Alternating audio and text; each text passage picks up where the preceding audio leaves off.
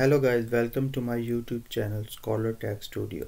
Welcome back to another tutorial of MSC Adams View.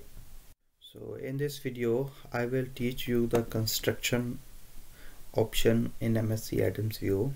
If you are familiar with CAD software, when you are going to modeling any part, so first you have to create the sketch and then you convert your sketch into 3D modeling in CAD software there are a lot of options about the construction of your sketch. But in MSC Adams view there are very few options available.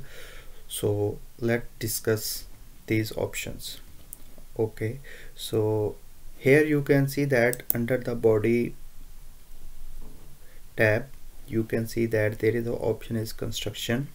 So there are six options are available. So let us discuss one by one. Okay. The first one is a point. If you select this one then the here you can see the point window pop up. So what option are available? The first option is add to part and if you will select this small arrow so you can see that uh, there are two options. One is add to ground and other is add to part. Okay so this is basically a ground. In if you watch my previous videos so I discuss in detail about uh, these things. So this is by default is the ground okay? So if you want to construct a point at the ground so then we will select from here at the ground.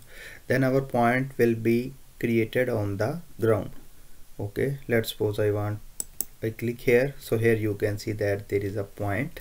And here you can see that this point is under the option of ground. So it means that we have constructed a point.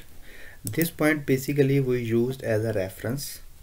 In future video you will learn.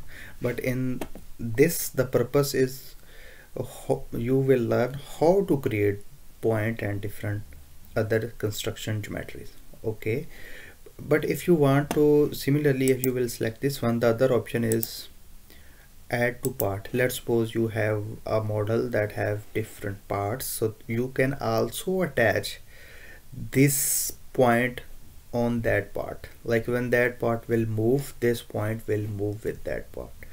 But if we construct this point on the ground then this part will not move because ground is fixed. So it means that this point is also fixed so let's we have okay. So what is the application of this? What is the application of this? Okay. Let's suppose we want to create a, a rectangle shape. Okay. We want to construct a rectangle shape. Okay. Then we can use these point as a reference point and then we can easily create our rectangle how it we can done let's suppose so I just select here ground.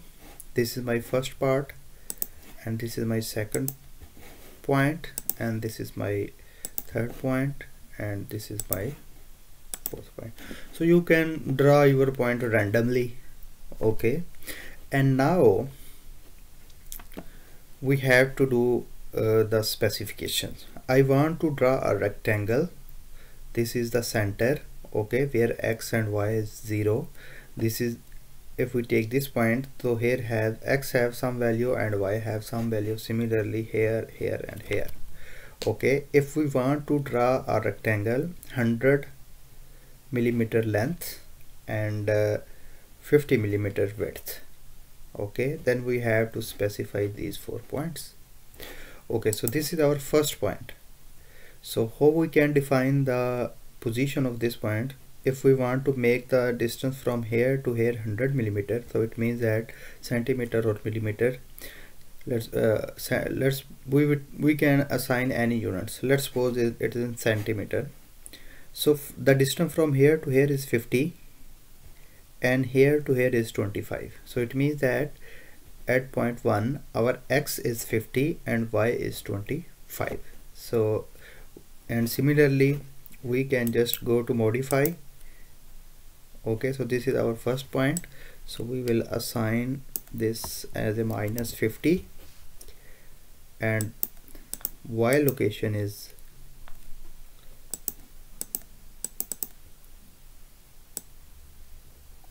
Twenty-five, and then apply. So now we can see that our point A is updated okay and it got the new position. Similarly we will go to point 2 and go to modify. So this is our point 2 so we know that the value of this is uh, 50 and value of this is 25 similarly for this we also put the value of 50 but don't forget the sign. Okay? The sign is basically represent the location in different coordinates. You know this is our here is x and y both are positive. Here is x positive and y negative. And similarly here uh, y is positive and x is negative. So therefore don't uh, for, forget to don't forget to uh, place these uh, signs okay so this will be y will be 25 so this is third coordinates minus 25 similarly for this will be 50 and this will be minus 25 okay and now go to apply. So now you can see that our reference point are placed accordingly. If now we want to create a rectangle shape so we can select this option polyline.